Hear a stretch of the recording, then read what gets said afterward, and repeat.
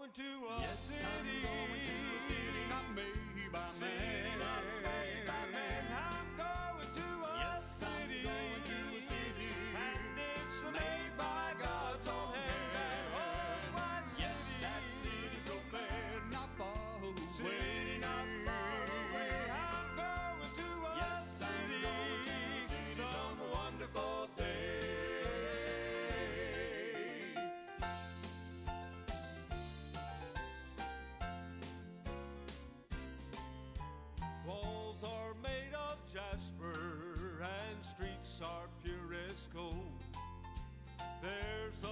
crystal river where we will never grow old.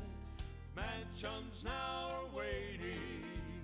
Jesus said it was so. And to that city called heaven where I am ready to go. I'm going to a yes, city. I'm going to a city not made by city man. Not made by man.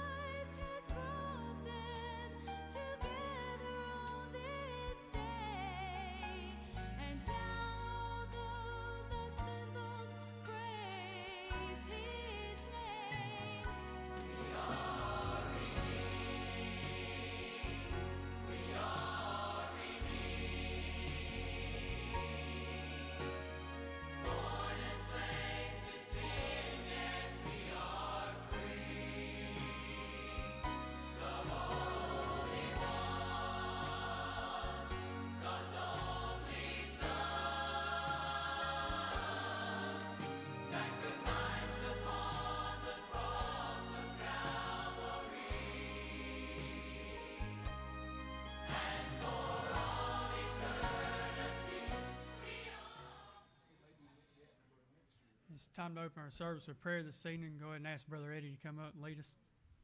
Amen. Praise the Lord.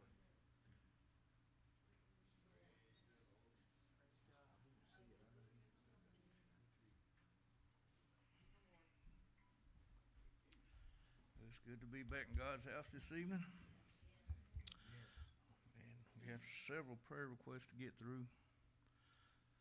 Let's pray for, uh, continue to pray for Brother Sister Ball for healing in their body and pray for their family. Uh, let's pray for Brother Patrick for uh, healing of the cancer in his body. Let's continue to pray for Sister Garen's brother James Green for uh, healing in his body. Um, let's pray for Brother Albright's uh, sister-in-law. She has a rare disease, and the doctors only gave her five years to live. Let's pray for Brother Oliver's daughter, uh, Callie, and his granddaughter Chloe for their salvation. And uh, Sister Susan turned in a request for uh, Brandy for traveling mercies. She's coming from uh, Vietnam, and her sister's husband's son has been deployed to Israel. So let's pray for them. Uh, let's pray for Brother James. Uh, he's going for scans tomorrow.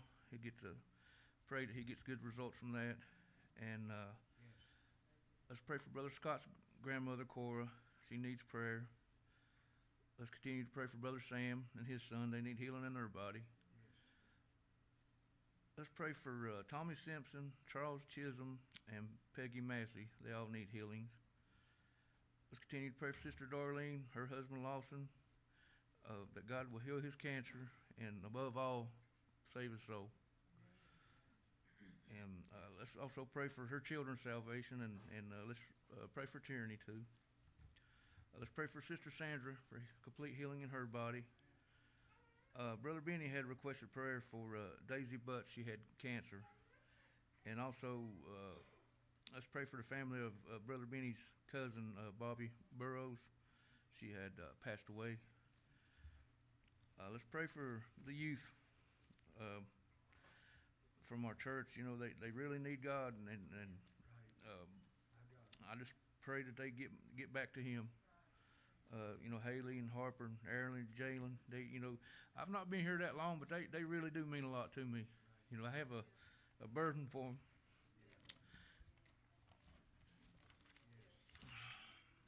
Let's continue to pray for Brother Floyd and sis, uh, brother and sister Shortridge, Brother Mike Woolard for healings in their bodies.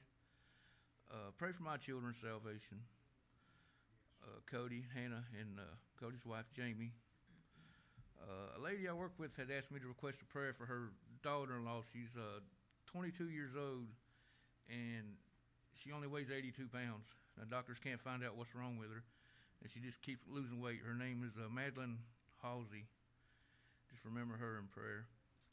And my cousin's wife, uh, her name's Tennille McCoy, and uh, she's dealing with some cancer issues, so we need to pray for her. And also, let's pray for Israel. Uh, does anybody else have a prayer request?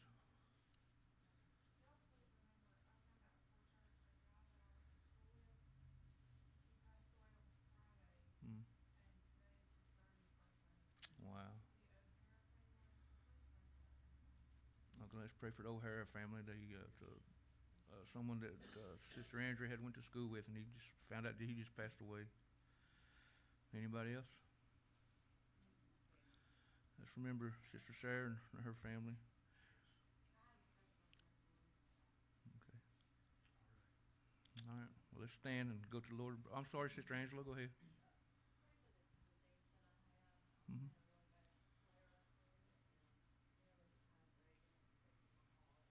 let's pray for Sister Angela and this disease she has. The Lord can heal her from it.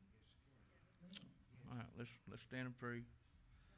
Precious Heavenly Father, God, we just come to you tonight, God. We just ask you, Lord, to, to have your way in this service tonight, Lord. We just ask you, God, to save, sanctify, fill with the Holy Ghost tonight, God.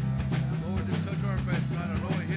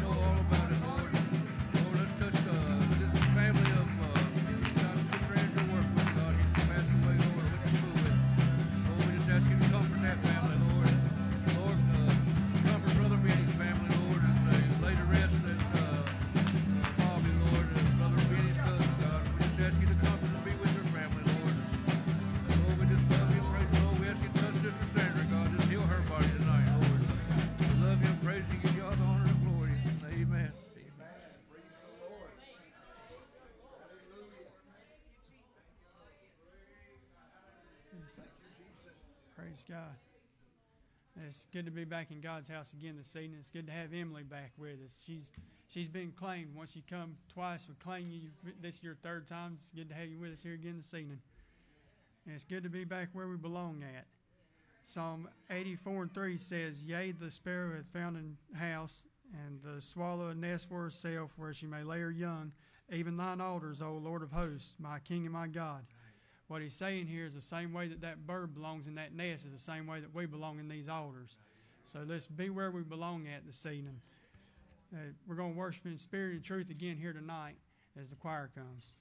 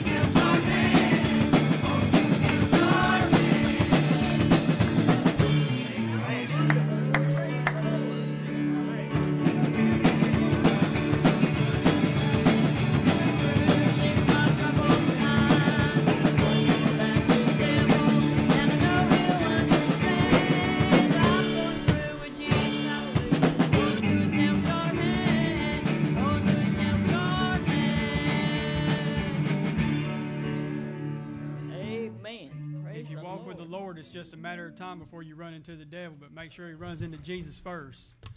If you're holding that nail scarred hand, let him lead you. Right. This time we're going to save our offering for ushers to come. Praise the Lord.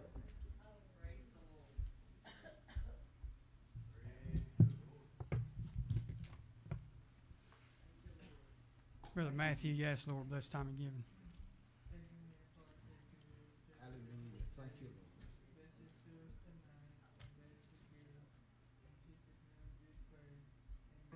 There is power, power,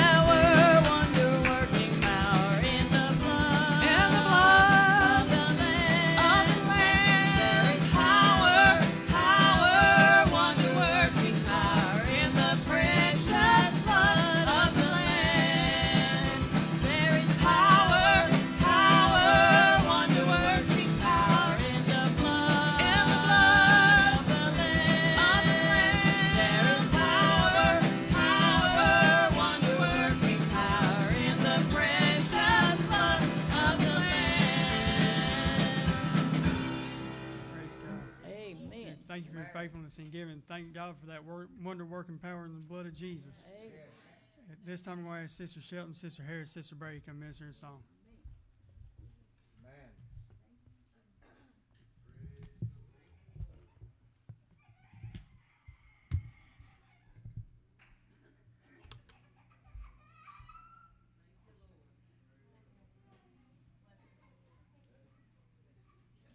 God help them.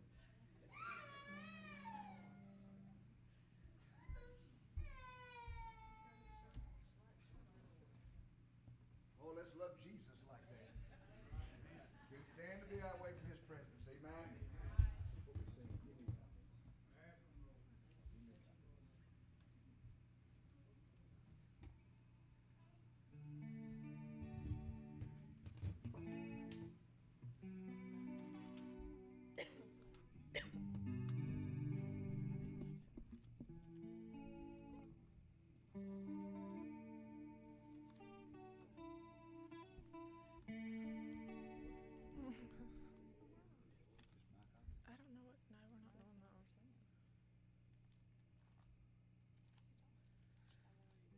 you just passed that.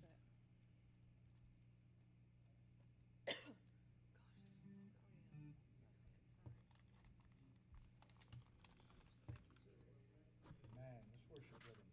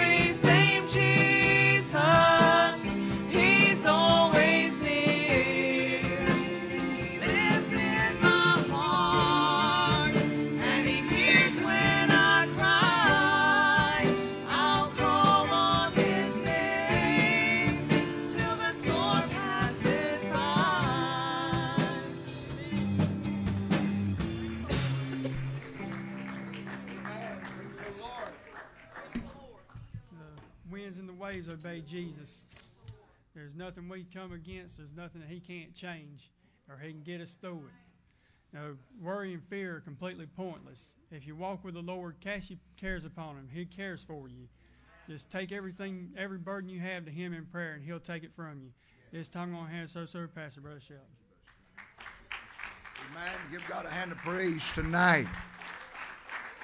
Let me know that worry is a waste of time. Why should I worry? It's a waste of time. God always works everything out every single time, doesn't He? I'm glad to be back in the house of God tonight. I thoroughly enjoyed the service this morning. If anybody was at that service on Friday night and didn't, you you just agree with me. We just brought that from there over here this morning. We had a time in Zion around here, and uh, on on Friday night, I think I got to preach about 10 minutes. Maybe is that right? 10, 15 minutes, maybe wasn't long, and uh, we just had church. And this morning we didn't get to preach at all. The Holy Ghost preached. Amen.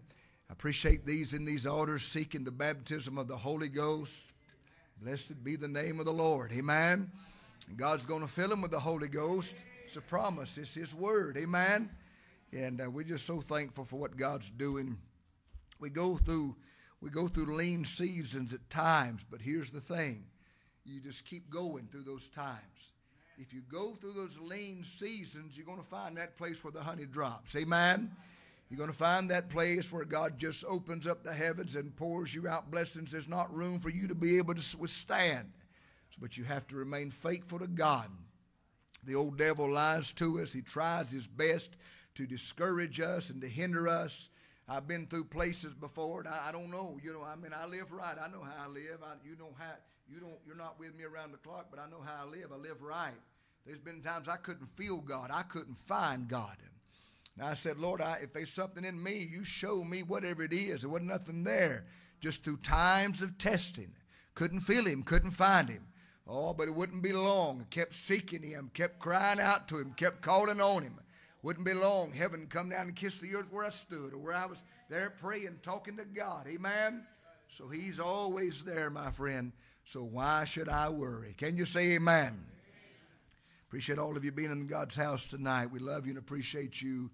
Uh, again, I appreciate that wonderful outpouring this morning. That was a, that was as Brother Shortridge would say, that was a time in Zion. Amen.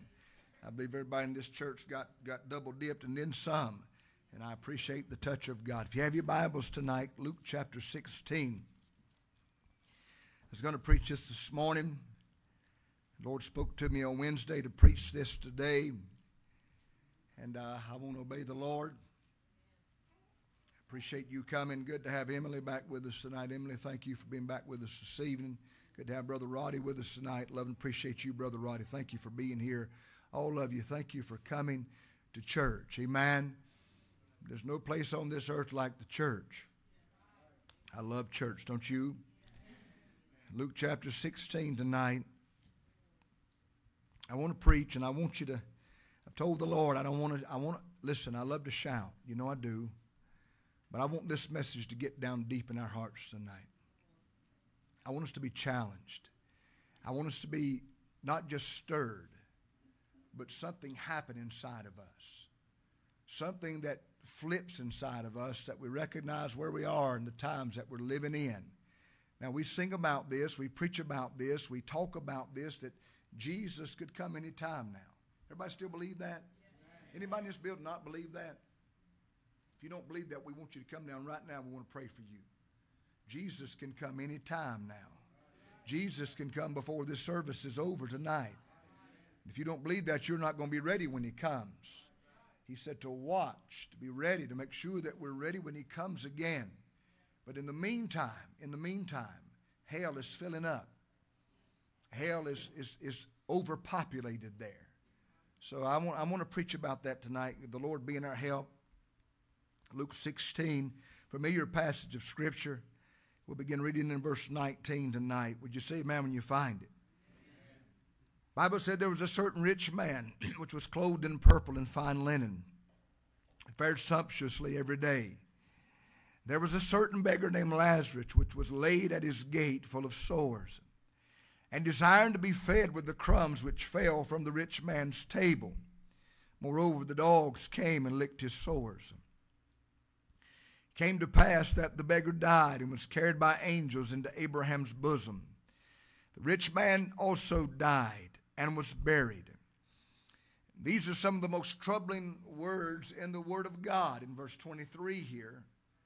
When the Bible said, And in hell he lift up his eyes.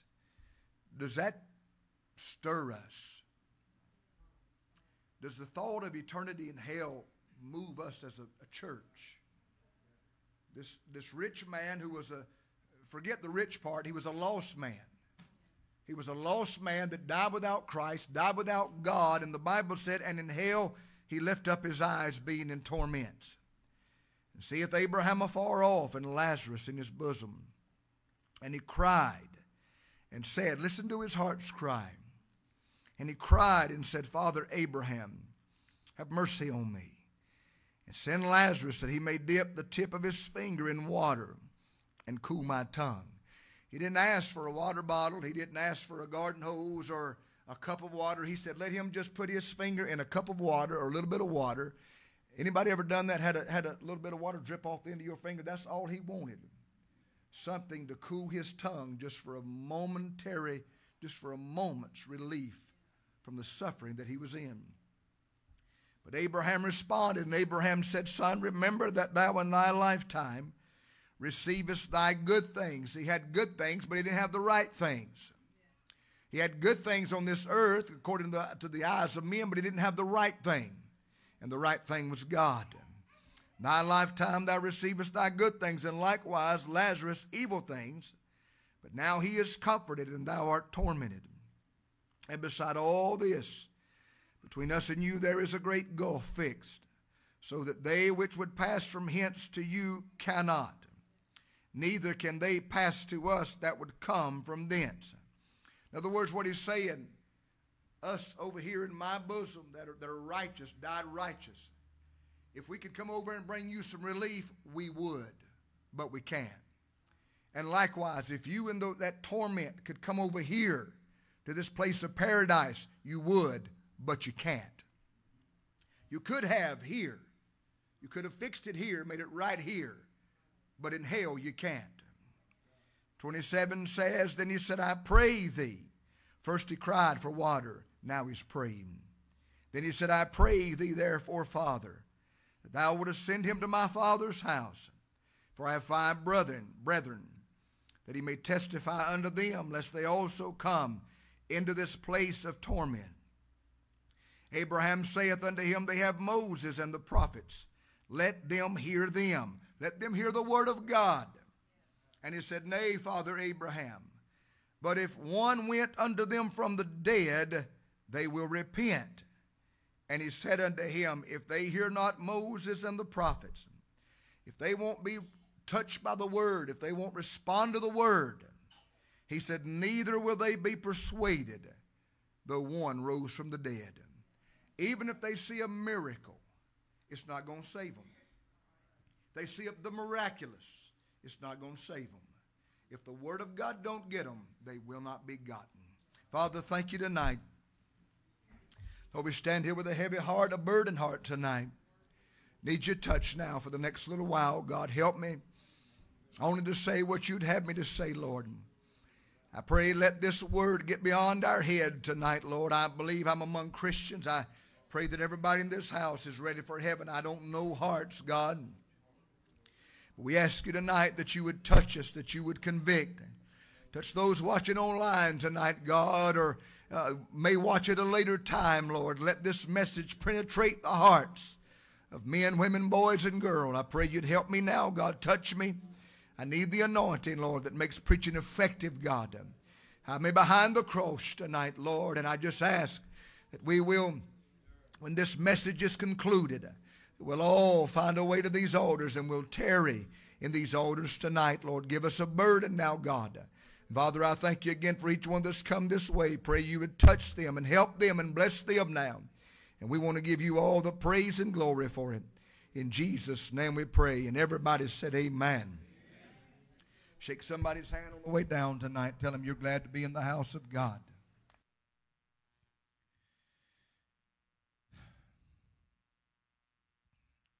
How many know that souls are dying and going to hell?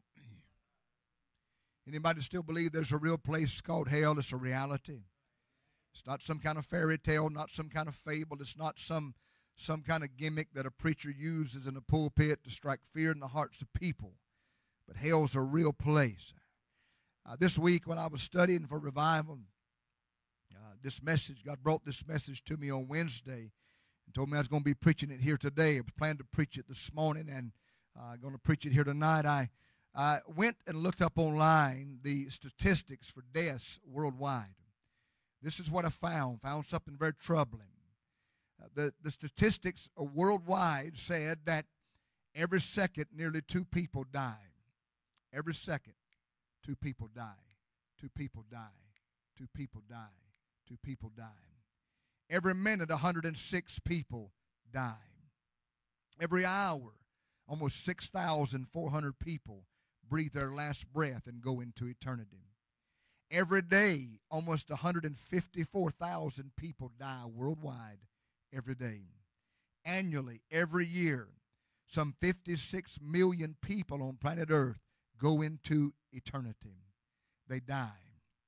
And we know, according to the Bible, that there are more people when they breathe their last breath that are dying and going to hell than those that die and go to heaven. You say, Brother Shelton, how, how can you say something like that? I didn't say that. Jesus did. Jesus said, Broad is that road that leads to destruction, that path that leads to a place in hell. He said that place is, is that road is broad, and many there are going to be that go in on that road. He said, But straight is the gate, and narrow is the way that leads to life, and few there be that find him. Hell has enlarged itself. You know why? To make room for the population of people that are leaving this earth going into eternity without God. So, having said that, I want to preach to you tonight on this thought is God has spoken to our heart the greatest concern of the church.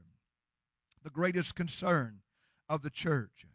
Hear the story in Luke chapter 16. I've read, I've, I've preached from this scriptures many times down through the years. I, I don't know how many times, but numerous times have we preached from these scriptures. And I'm sure if you've heard other preachers uh, uh, preach any time at all, you've heard messages uh, from Luke chapter 16 about the rich man and Lazarus.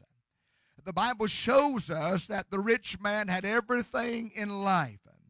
Lazarus was nothing more than just a poor beggar.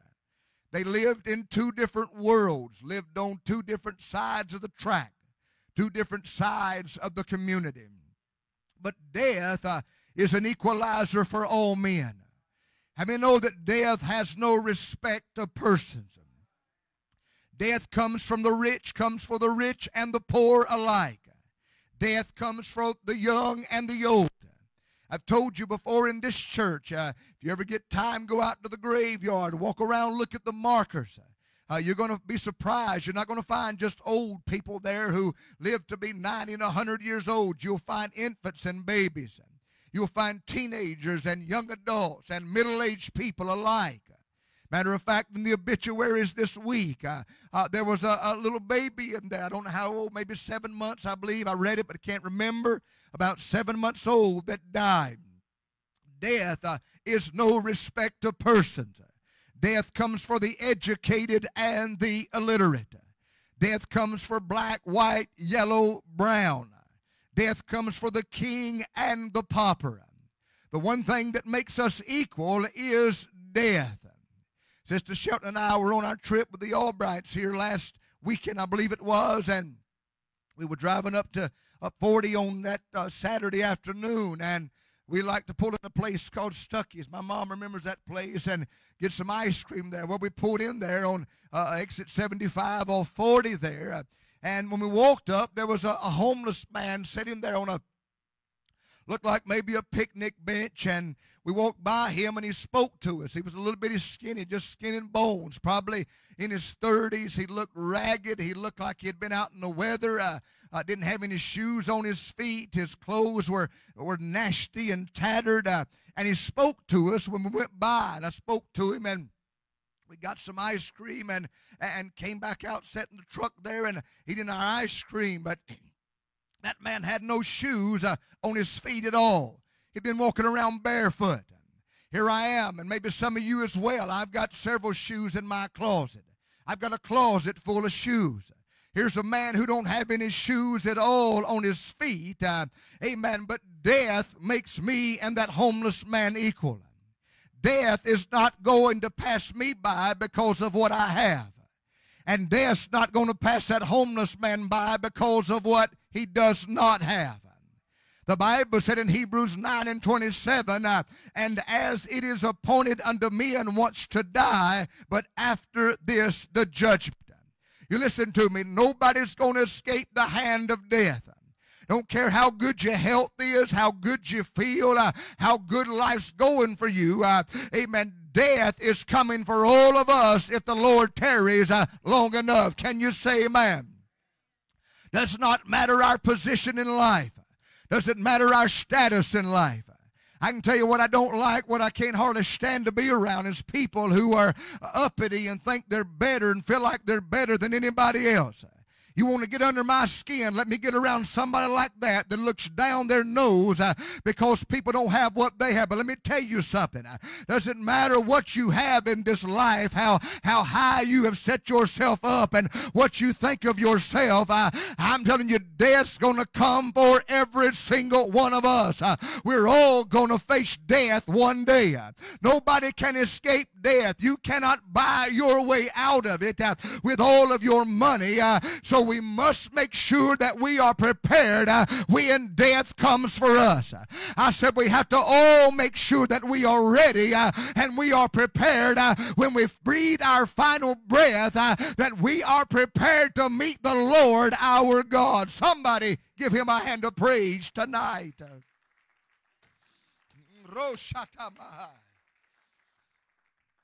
To notice here, and the Bible tells us that when that rich man died, this is what the Bible said in hell. He lift up his eyes being in torment. Here's a man in life who had everything. Here's a man who had no worries. A man who had no concerns. He had no cares. He lacked for nothing. He was able to buy everything that his money could buy in this life. But the Bible shows us that he was a foolish man uh, because he had not made preparations for death uh, concerning his soul. uh, and now he has died uh, and lift up his eyes in hell for eternity. I want you to notice here this rich man in hell. The Bible shows us that he had two concerns. His first concern was for himself.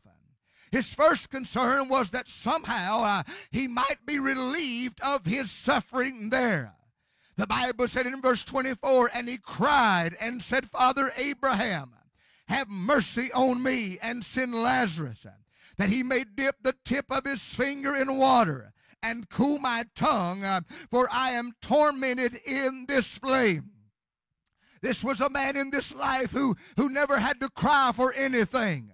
Everything that he wanted was right there at his beck and call. But now in hell, he's crying out for a drop of water. He's not begging for a nice meal. He's not begging for new clothes. He's not begging for his money. Uh, he's begging for Lazarus to dip his finger in water, uh, that one little drop of water may be placed upon the tip of his tongue uh, to ease the suffering and the torment uh, of that place. And that tells us, my friend, uh, that one drop of water in hell uh, is more value, of greater value than anything you will ever find in this world. One drop of water in hell uh, is more valuable than all the riches of this world.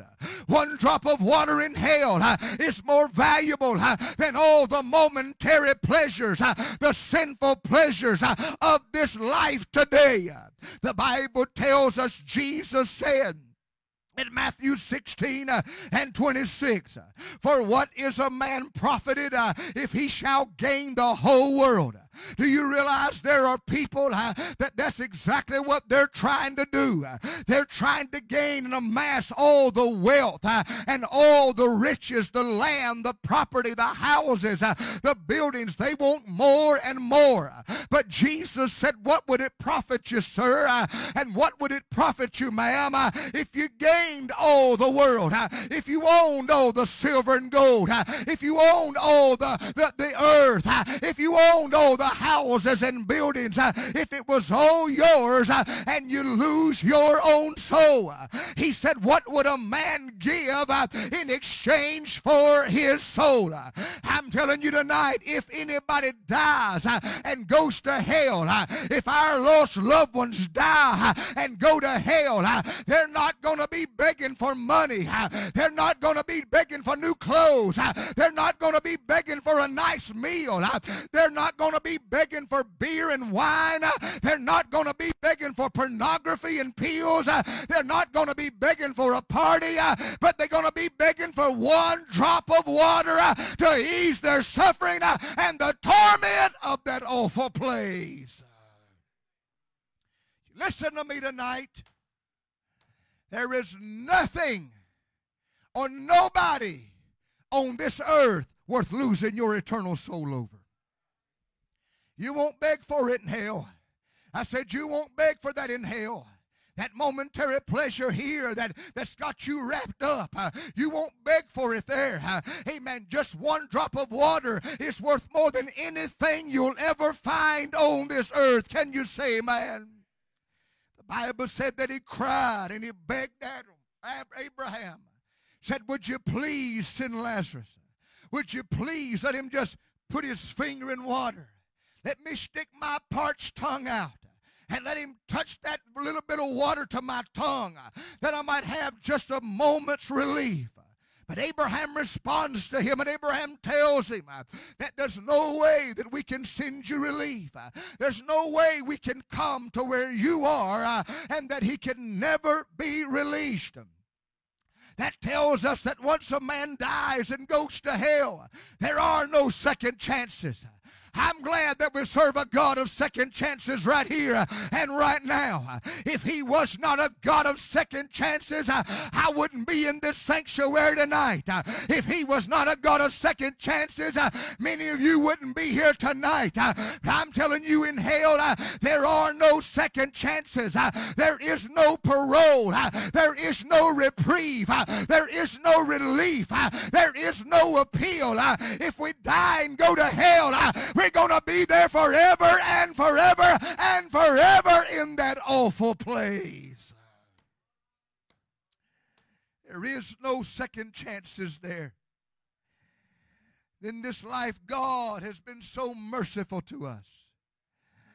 God has been so gracious to us.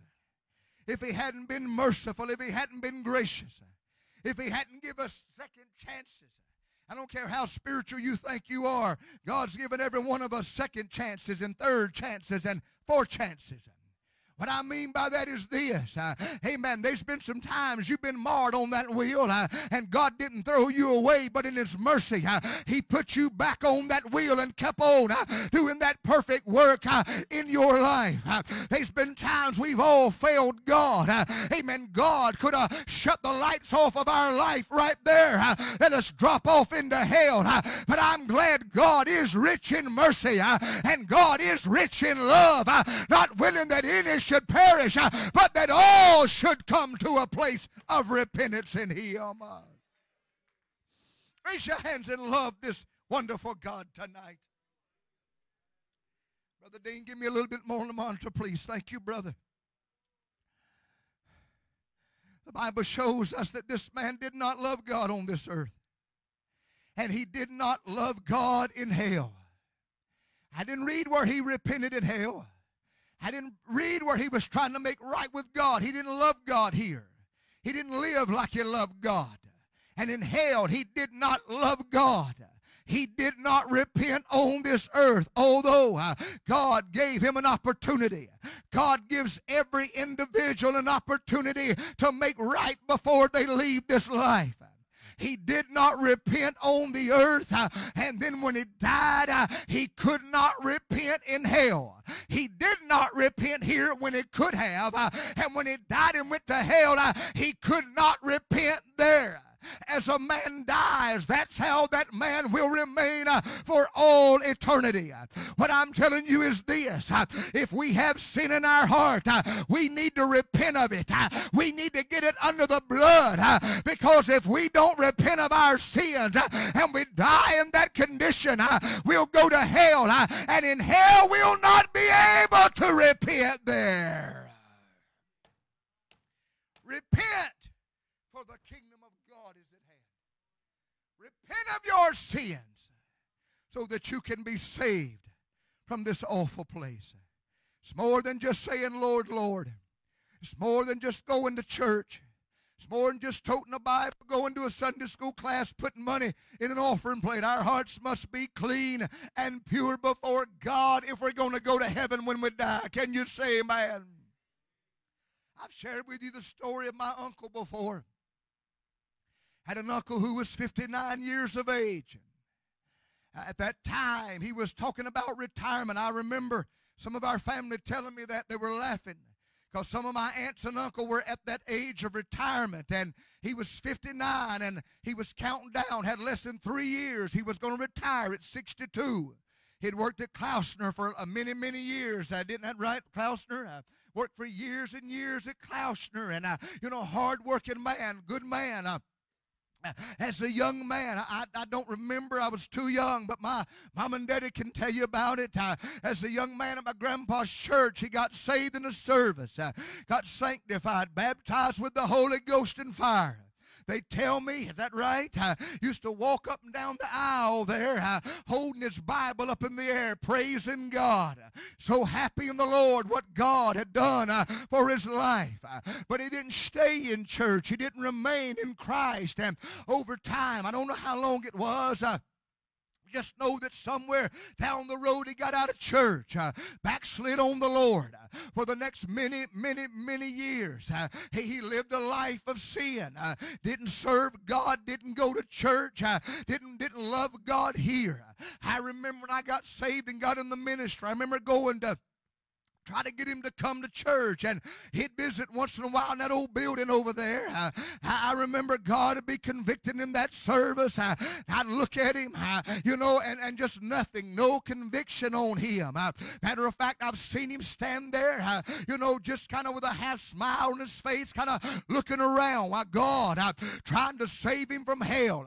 Well you know he, he, he did that once in a while didn't come very often. Uh, I'd go to his house, try to get him to come to church, and didn't want to really hear anything about that. Uh, well, he had lived in California for some time, and while he was there, involved in a motorcycle wreck. Uh, I hit a bus, slid up underneath the bus, and I saw the picture of the motorcycle, and I, I knew it was God's mercy that spared him. I could have been killed right there, I could have died right there, but God I, was merciful to him. Uh, when he moved back here, was at a, a party, I believe it was, and you know, how whatever happened, a man and another boy jumped on him and beat him up. How he's bleeding internally. How got back home, wouldn't go to the hospital. One of our other uncles went to his house. They said, somebody said, come over here and tell him, get him to go to the hospital. He won't go. Uh, my uncle went to the, to the house and said, you got to go to the hospital. He agreed. Uh, and the doctor said, if you had not come in, uh, you wouldn't have lasted another day. You're bleeding to death inside. Uh, had to go and do emergency surgery on him. Uh, second time, God's being merciful. Uh, God's giving him an opportunity. I remember going to his house after it happened. And, you know, walked in there and he's got a beer in his hand and he's he's laughing and living it up. I wanted to show me his scars and I talked to him about his soul, talked to him about getting right with God. I, I can see him sitting right there in that chair right now, uh, holding that beer, laughing at me uh, like I was telling him some kind of joke. Uh, I said, You need to get back in church. Uh, you, you was in church and you served the Lord. Uh, well, that's a long time ago. Uh, you know, drinking that beer. Uh, got to where he didn't want to hear nothing about it anymore. Didn't want me to come and visit with him. I didn't want to hear anything about church. Didn't want to hear anything about God. One night at a party, 59 years of age, I saw the picture, the last picture they had made of him. Thinking about his retirement. Less than three years, going to be retiring, got his life planned out. I thought about that rich man in Luke chapter 12 uh, when the Bible said uh, he, has got so much he don't have room to put all of it. Uh, he said, I'm going to tear my barn down, going to build new barns, uh, going to fill those barns up. Uh, then I'm going to say to my soul, uh, it's time for you to live it up, to eat, drink, and be merry. Uh, everything's all right, going to take some rest.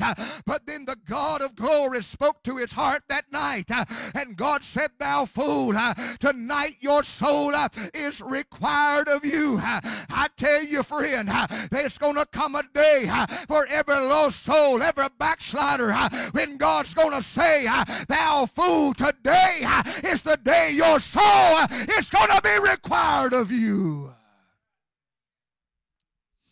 At that party that night,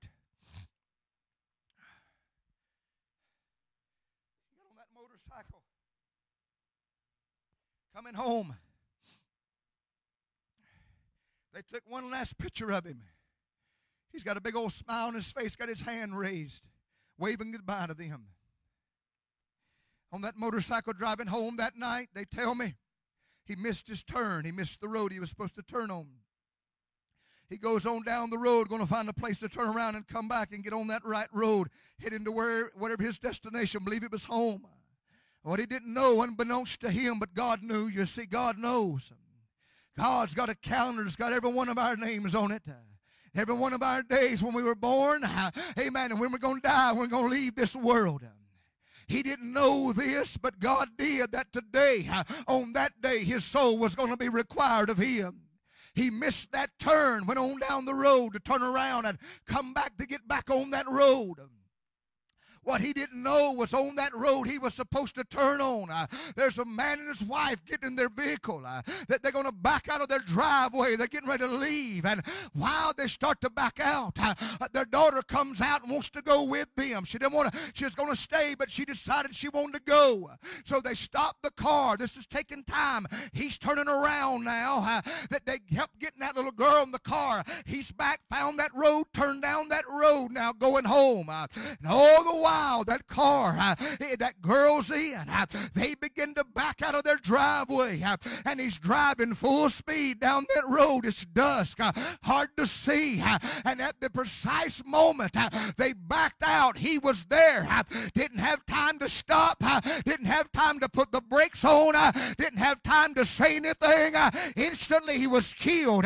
they said his body lay in there dead in the road. didn't have time to do anything with God. Uh, and instantly that man dropped off uh, into a devil's hell. uh, you listen to me. Uh, all these years later, uh, he's still in that awful place, uh, crying out for relief and crying out to be released. but he's there for eternity. I said he's there for eternity because he waited too late on God.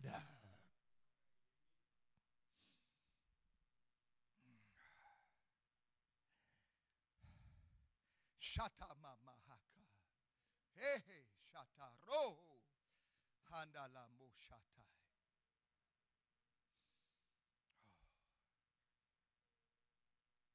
He was the nicest guy you ever meet. Do anything in the world for you. But he wasted his day of grace and his time run out and he dropped off into hell. God gave him more than one chance to get right. God spared him more than one time trying to get his heart right with him. you know, people went to him. I wasn't the only one went to him. I wasn't the only one prayed for him. I know there's a lot of people praying for that man, uh, but he waited too late uh, and he dropped off into hell. uh, and now he's in that awful place right there. and no matter how much he begs and pleads, he cannot get out. There's others in that place, no matter how much they beg or plead, they can never escape that horrible place. The rich man died and he's concerned about himself. He's begging for a drop of water there. But then I want you to notice this second concern of his overpowered the first concern. In verses 27 and 28, the Bible said, Then he said, This is the rich man. Then he said, I pray thee therefore, Father. This is the first time you ever read of this man praying in the Word of God. You never read where he prayed while he was here in this life. You, you never read where he prayed before he died. Uh, even when he's in hell, uh, the first time he is first concerned for himself, uh, didn't say he prayed, said he cried. But now we find him praying uh, in that awful place. Uh, he said, I pray thee, therefore, Father, uh, that thou wouldest send him to my father's house. for I have five brethren, that he may testify unto them, lest they also come into this awful place of torment. He cried out for a drop of water for himself. Uh, amen. Can't find any relief, nothing to be done. Uh, you can't help him now, it's too late. Uh, but now he begins to pray uh, for his brothers that are here, uh, those that are still alive on this earth, uh, those that have not gone into eternity yet. This is what he's saying. I can't help myself. I can't get out of this place. There's no more hope for me. I wasted my day of grace. Amen. I'm here. But I've got five brothers uh, that are still alive on that earth. Uh, I got five brothers uh, that there's still hope for them. Would you please send Lazarus back and let him work and let him try to win them to keep them from coming to this awful place called hell? This man knew he had lost his chance. But his five brothers still had a chance to be saved and go to heaven. This man no doubtly loved his brothers on this earth. And he still had a love for those brothers in hell. He's concerned about their eternal souls. Some folks have made the foolish statement. They said, if I go to hell, I'm going to have plenty of company there. A fool said, when I get to hell, we're going to have a big party over yonder. When I get to hell, going to be plenty of people around me over there. Well, you got that right. There's going to be plenty of people there if you go there. But you listen to me. The truth is, people in hell don't want any more company. People in heaven do. People in heaven, there's a great cloud of witnesses that's pulling for us uh, to make it. Uh, there's a crowd over yonder in heaven that want us to come to where they are. I'm telling you, those in hell, they don't want anybody else to come there. They don't want any more company in that place, uh, especially not the members of their own family. Uh, this is what we learn from his experience. Uh, he's praying to Abraham, please let Lazarus go back. I got five brothers. I don't want them to come to this place. I, don't want them to experience uh, what I'm having to experience. Uh, I'm telling you, those in hell, uh, they don't want their children to die and go to that place. Uh, those in hell, uh, they don't want their grandchildren uh, to die and lift up their eyes in hell.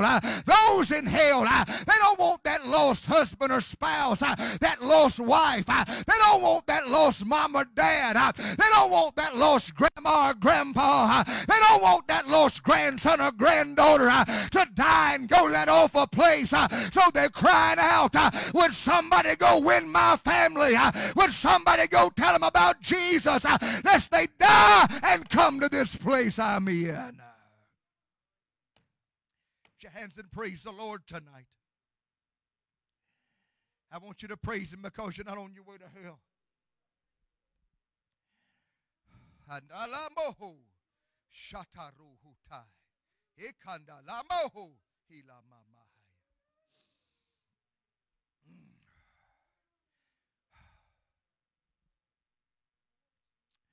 My uncle had three brothers. The first one that died died. He was he was intoxicated. And he was out on the road walking and somebody somebody hit him and killed him. I assure you that if he never had time to make right with God, I don't know, it wasn't there's a long time ago. But if he didn't have time to make right with God and he went to hell, I promise you he was pleading for his three brothers left here. For my uncle and his other two brethren, please somebody go tell my brothers not to come to this place. Please somebody go try to win my brothers not to come to this place. All those boys died tragic deaths. My uncle's brother had been in prison for a number of years, got out of prison, nice looking man, friendly man. Went to a party one night, hadn't been out of prison too awful long, just a few short years. Went to a party, got the drinking, got mouthy. Him and another man got into an argument, and the man shot him and killed him right there in his yard. The man laid there and died in that man's yard. The other brother was killed in a car accident. Don't know all the details of it, just know he died tragically. My uncle was killed in a motorcycle accident. Every one of those boys died a tragic death. But I tell you, the first one that went to hell, if the first one died, if he didn't have time to make right with God, uh, amen, he prayed, somebody please go tell my brothers uh, not to come to this place. If we could hear the screams in hell tonight, I assure you, if we could hear the screams in hell, uh, wouldn't nobody die and go to that place. I said, wouldn't nobody die lost uh, and go to that place? We don't. We're not afforded the privilege to know that and uh, and to hear that. I just got to believe what God's word says. I'm telling you, if we could hear the screams in hell, they would be people begging God. There would be people calling for God. They would be begging for relief. They would be begging to be released. But I believe we'd also hear the inhabitants of hell crying out to somebody, please go witness to my lost mama. Please go try to witness to my lost daddy. Please go try to help my brother, my sister that's lost. Somebody, please go tell them whatever you do when you die, don't die and come here. Don't die lost. Don't die and go to hell. Hmm.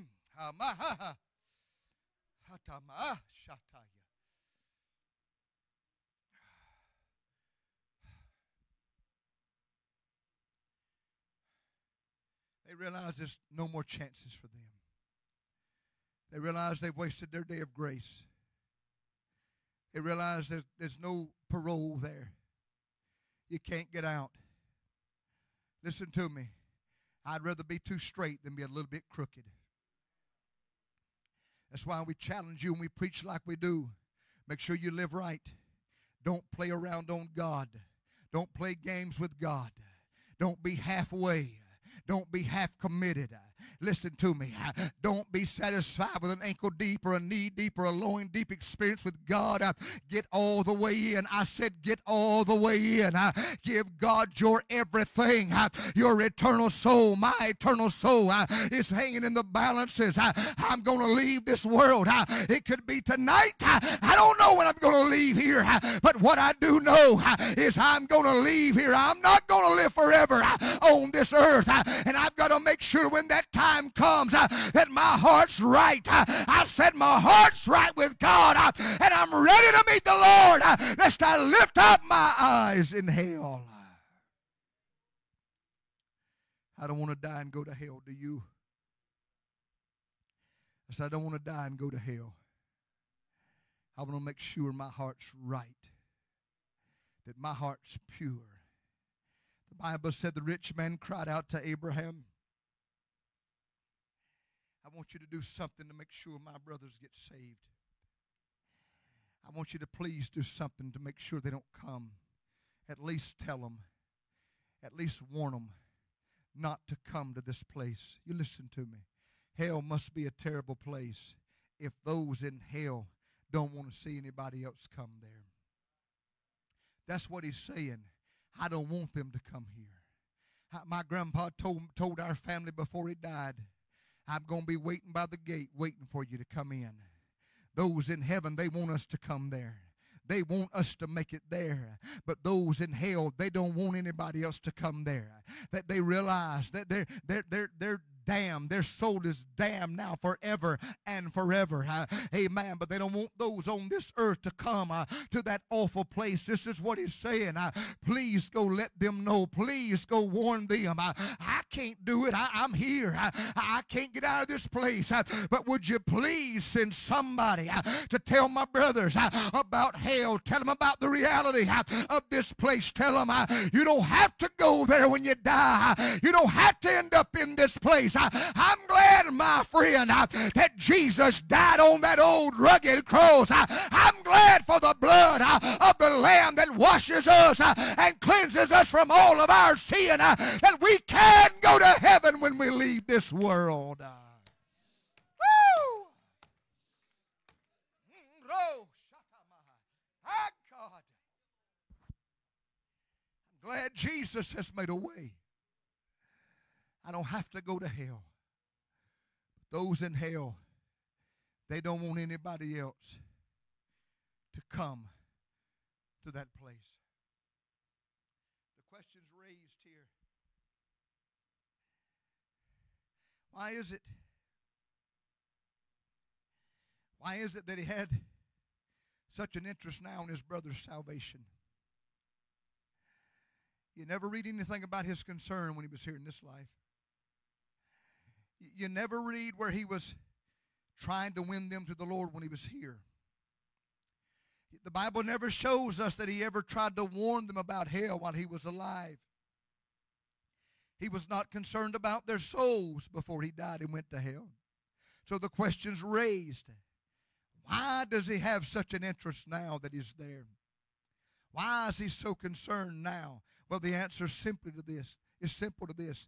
He's finally consent, convinced there is a real judgment to face. He didn't believe in hell when he lived here. He didn't believe the judgment of God. He didn't believe such a place existed. Because if he really believed such a place existed, uh, he wouldn't have went to such a place. That's why he never warned his brothers while he was alive. That's why he never told them, you better get saved. That's why he never invited them to church. That's why he never went by their house and say, hey, we're going to church on Sunday. Come on, go with us. No, sir, he never done any of those things because he didn't believe there was such a place. But now he knows from a personal experience that there is a burning hell for lost mankind to spend eternity in. He didn't believe when he lived his life here on this earth. But you listen to me. in hell, he is a believer. all those that die and go to hell, they'll go there because because they are unbelievers. Uh, But I assure you, uh, you'll not find one unbeliever in hell now. Uh, They all believe now, but yet it's too late for their souls. Now he believes. Now he knows. And that knowledge made him want to see his brother saved above everything else. I believe that there, there are multitudes here on this earth, countless multitudes, just like this rich man who do not fully believe they're going to face the judgment of God. But I got something a little more pointed for you. I believe there's people in churches, maybe some in this church tonight, maybe some watching online tonight, that they don't fully believe. They nod their head when you preach about it. They say amen when you preach about it. They, they, they, they read about it in the Bible, but they don't fully believe that such a place exists. You know how I know that? Because if Christians, really, real Christian people, really believed that there was a hell, if people really believed there was a hell, they'd be faithful to God. They'd be faithful to church. They'd be faithful to His altar. They'd be faithful to that book. They'd be faithful to live a holy life. If people really believed there was a hell, amen, they would literally abstain from the very appearance of evil. If they really believed there was a hell, uh, amen, they, they'd do everything they could in this life uh, to make sure that they serve God with all that they have. Uh, they wouldn't play around with sin out there. Uh, they, they wouldn't play games with that old adversary. They wouldn't play great games uh, with that old world out there. Uh, if, if people really believed uh, that there was a hell, uh, I can tell you this church couldn't hold everybody tonight, and the church down the road, and the church up the road. if people in Asheboro really believed there was hell uh, that men are going to go to if they die lost uh, or backslidden or lukewarm, uh, amen. Every church would be full on a Sunday night. Somebody ought to say amen to me. I'm telling you, if you really believe there's such a place as hell, I want to make sure I don't ever go to that awful place. Up your hands and praise Him tonight. Shatamamaha. Woo! If I really believe there's a hell, I'd be careful what I watched on television. If I really believe there's a hell, I'd be careful what I looked at on the internet. If I really believe there's a hell, I'd be sure I didn't cheat on my taxes. If I really believe there's a hell, I wouldn't be caught dead telling a lie to anybody. If I really believe there's a hell, I'd be real careful about the kind of music I listen to. If I really believe there's a hell, I'd be careful about the people I hang around with. If I really believe there's a hell, I'd be doing everything within my power to get as close to God as I could get. I said I'd be doing everything in my power to get as close to God and to walk right before the Lord. Not just on a Sunday at church, uh, but on Monday I'm going to walk it right, uh, going to live it right, uh, going to serve Him the right way. And then I do everything in my power to try to keep somebody else from going to that same place that I don't want to die and go to. Hallelujah.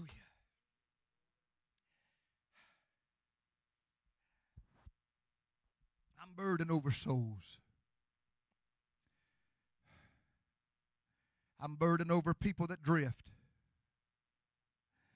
I'm burdened over people that are lukewarm. I'm burdened over people that are backslidden. I'm burdened over people that are lost. I'm burdened over every soul that ain't ready for heaven. I'm burdened over every soul that is not ready for heaven. Because listen to me, friend. Not one of us are promised another day on this earth. You can appear spiritual in here. You can do all that. You can learn how to do it and be slick about it. But if we're not living right out there in that world, hell's going to be our destination. I said, hell is going to be our destination. I, I don't want to die and go to hell. uh, and I want to work and try. Uh, you know, those in hell are concerned about those that are here not coming there. Then the church ought to be concerned as well. This ought to be the great concern of the church today. Not who got to sing on Sunday morning.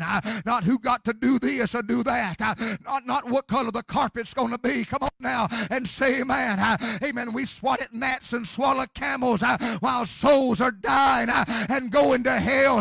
The screams of hell. Somebody go tell my lost mama. Somebody go tell my lost brother. Somebody go tell my lost daddy. Whatever you do, don't die and go to hell. That has to be the concern of the church today. I've got to make sure I'm right. And then I've got to work to try to help somebody else get right. He never told his brothers about hell, about church, about heaven, about righteousness. He never said anything to them about it while he was here. It was not until he died. Now he wants to warn his brothers. Now he wants to win his brothers. Now his concern is for their lost souls. It took him dying and going to hell before he got concerned about the lost and wanting to win souls. I'm going to close here in just a minute. Seems like those in hell today are more concerned over the lost than those that are here on this earth. We're concerned about a lot of things, aren't we? Listen to our speech. Listen to how we talk. Listen to what we say. Listen to what our concerns are. We're concerned over a lot of things in this life.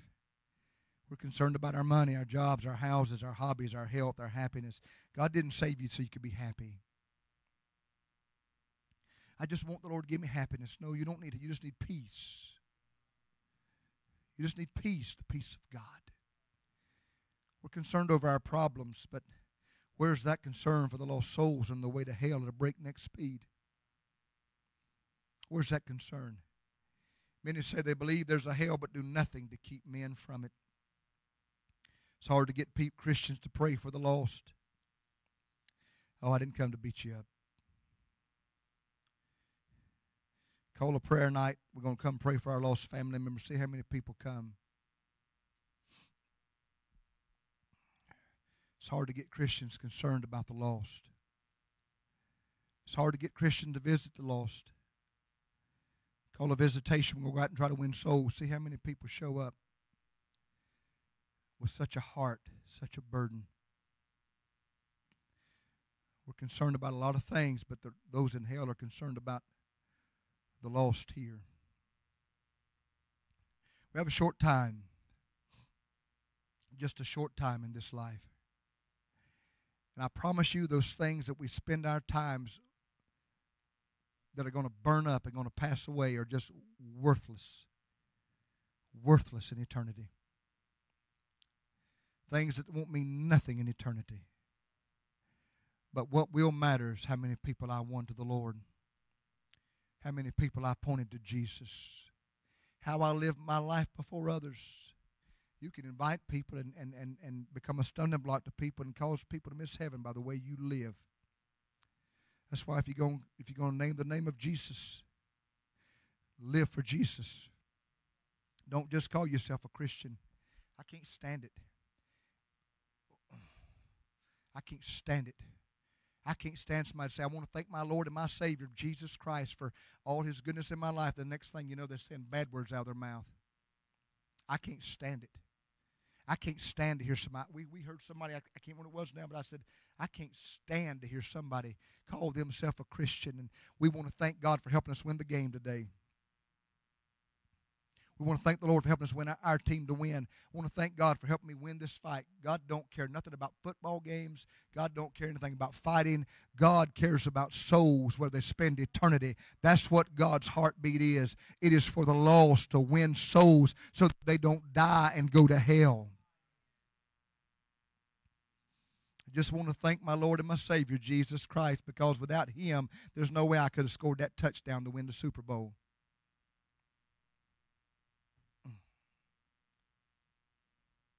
It's nonsense, ridiculous. I want to thank the Lord for giving this platform this boxing platform that I can knock this my opponent out and, and use this to talk about my Lord and my Savior Jesus Christ. The next next words out of their mouths of foul foul language.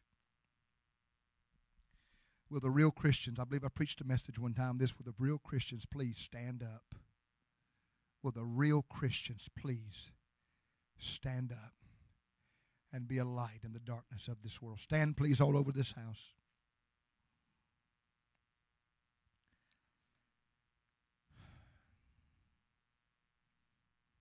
We're like Martha. We're cumbered about. We're concerned about a lot of things. We're concerned about things that don't mean nothing, that don't mean anything. But what matters most is that lost soul dying for eternity in hell. One commentator said they'll be dying but never able to die, dying over and over but never being able to die the very thing that, that, that you tried to hold on to,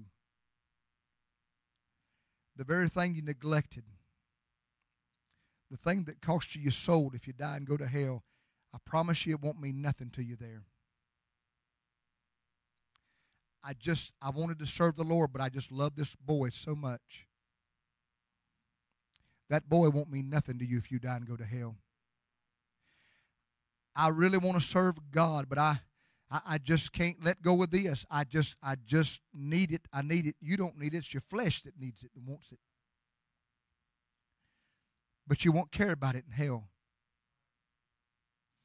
I really want to serve the Lord, preacher, but I just I just my time's valuable. I got too much. Listen, in hell, all you're gonna have is time.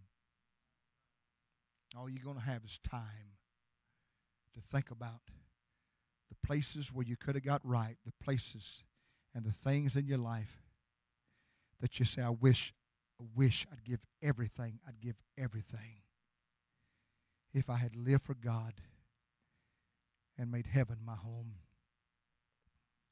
Every second, two people die. Every minute, 106 people die. Every hour, 6,400 people die. Every day, 154,000 people die. Every year, 56,000 people die. One day, you and I will be part of that statistic. One day, my name will be in the obituaries. One day, your name will be in the obituaries. And how we live is how we're going to die. If I live for God, I'm going to stand before Him and I'm going to give an account for what I did with the talents He gave me. And I'm going to give an account for how I tried to win souls while I was here. He's not going to give me rewards for how much money I had in my bank account, what I was able to amass in this life. He's not going to reward me for the number of friends that I made, what, what my position was on my job, how, ele- how high I could climb in the ranks. What God's going to judge me by is what I did with what He gave me in this life and how I used it for Him and for His glory and His kingdom, and how I worked to win souls. Jesus said in John 4 and 35, Say not ye, there are yet four months, and then cometh harvest. Behold, I say unto you, lift up your eyes and look on the fields, for the, they are white already to harvest. Those in hell, every head bowed and every eye closed, please. Those in hell are concerned over their lost families. Are we concerned over ours? What are we doing to try to reach them? Do you pray for them? Do you fast meals for them? Do you plead the blood of Jesus over them? Do you do it daily? Do you live that Christian example before them?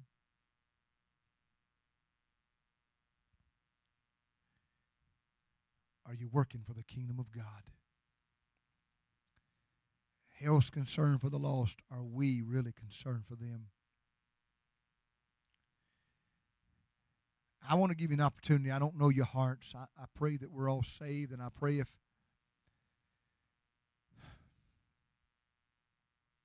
if we're to leave this world now, that we're all right, all ready for heaven. But you know deep down your heart, you, you know what you are. You know what you are. They tell me that what a man or woman is behind closed doors when they're all alone, nobody else is around. That's what they really are. When nobody else can see what they're doing, when nobody else can see what's taking place in their life, yet Jesus knows us. I just want to give you an opportunity before we come pray for anything else tonight. If you're in this house and you're not ready for heaven, you say, Brother Shelton, I don't want to go to hell. I want to go to heaven. I want to make sure my life matches up with Christ. I want to make sure I'm serving Him the right way. I want to make sure everything's under the blood the way it should be. I'm inviting you to come right now. I'm inviting you to come right now. These altars have been open the whole service from the very opening prayer.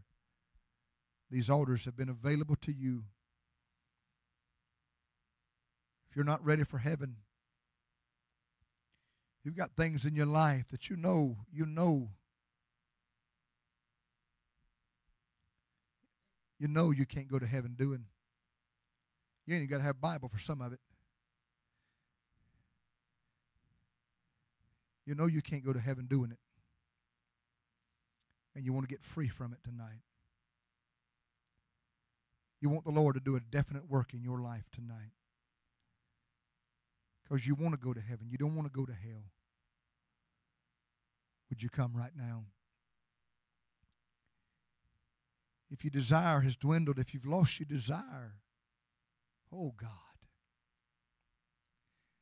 Let me tell you how you lose your desire. When you neglect prayer, when you neglect the Word of God, when you neglect church, your desire is going to go away. It's going to vanish. You have to keep putting fuel on that fire every day. You have to keep putting wood on that fire daily. If you've lost your desire for His house, for His Word, for His altar, if you've lost your desire for Him, if you've lost you, left your first love, if you don't love Him like you did, these altars are open for you to come and get out here and fall in love with Him again. Fall in love with His house, His Word, His altar, His holiness. Would you come tonight? Would you come, please? I'm going to wait just a few minutes here because I know there's some need to be here. I, I know that you, you're here because God, God doesn't just waste our time. He doesn't just talk to air. He's talking to us. I know that He is. And I know there's some in this house under the sound of my voice that need to be in these altars tonight. You need to go ahead and cut ties with some things. You need to, some of you just need to fall in love with Jesus all over again. Just a, just a, a fresh experience of your love. Not, not so you can shout, not so you can get goosebumps, but, but that your heart's swollen with love for Jesus. For Jesus, for Jesus. Would you come tonight? Would you come? Would you come?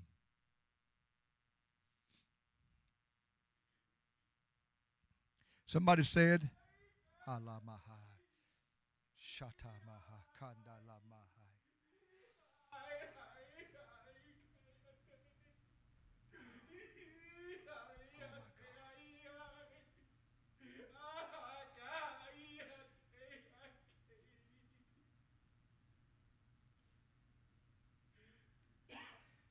I have called for you, saith the Lord, and I'm calling for you to come. I'm calling because I have a desire to touch you. I have a desire to have fellowship with you, saith the Lord. I'm calling because I have a heart of love towards you. Would you respond to me? Would you respond to my word? I'm waiting for you, saith the Lord. Respond to me, and I will touch you, and I will move upon you. I will refresh that love. I will touch you in such a way that you will know that you are mine and I am yours, saith the Lord.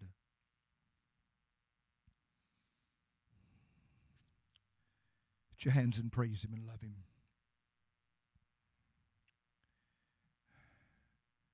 Would you come? Would you come? Would you come? We're going to wait. I'm not going to rush this tonight.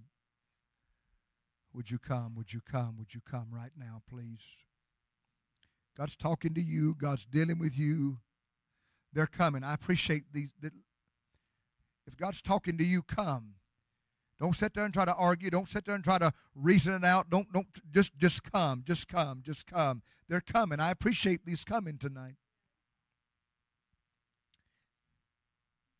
I don't want to just I don't want to just get a feel good or a shout or I want something to happen in our hearts that my love for Jesus is like it's never been before. They're coming all over this house. I, I appreciate them coming tonight. They're responding. They're responding to what God said to their heart. They're responding to His Word. Would you come? Would you come? Would you come? Would you come, please? Would you come, please? They're coming tonight. Would you come? I don't want to go to hell. I don't want you to go to hell. I don't want your families to go to hell. I don't want anybody to go to hell.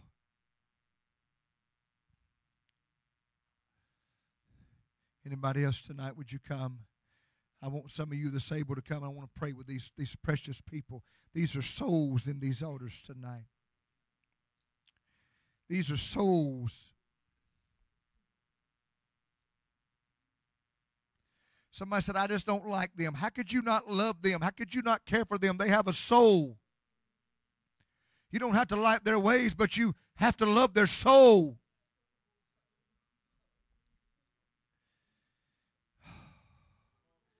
Oh God.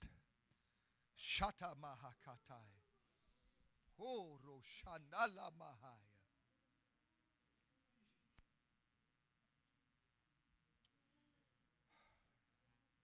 Jesus. Oh God. Jesus.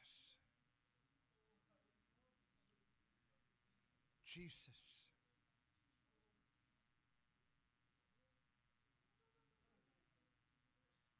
Jesus, Jesus.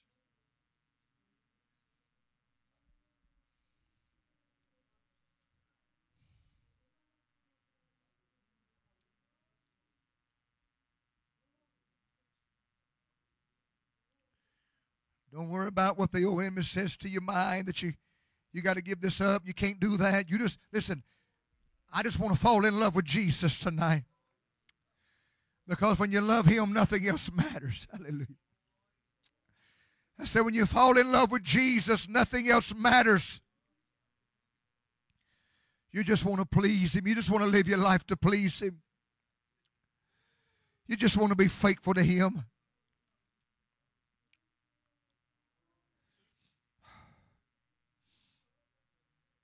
God, work in these hearts tonight, Lord. Work in these hearts.